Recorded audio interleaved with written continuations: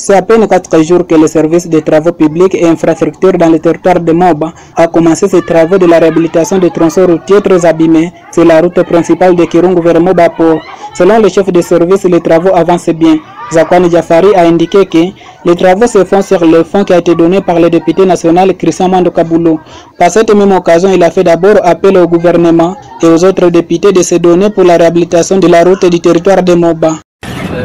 Japokuwa ma ya mvua, lakini kazi inaendelea mzuri, tunaendelea kutumika mzuri kwa sababu Malgré les difficultés liées à la pluie, mais les travaux avançaient bien parce que cette partie était très mauvaise, mais les travaux avançaient bien. Oui, c'est la territe que nous versons sur cette partie. Ça vient à la montagne de Songola. C'est là que les jeunes sont en train de creuser. Ces travaux se font par l'aide du député Christian Mandon Simba. C'est lui qui a donné 2 millions et 5 000 francs congolais. Et là, c'est à demander d'abord à notre gouvernement qu'il puisse continuer à nous appuyer comme il est fait dans d'autres territoires. Et de même aux autres députés, ceux qui ont le cœur de se donner pour la réhabilitation de notre route. Ça, ça sera une bonne chose que aussi puisse se donner pour que nous puissions continuer les travaux comme il se doit.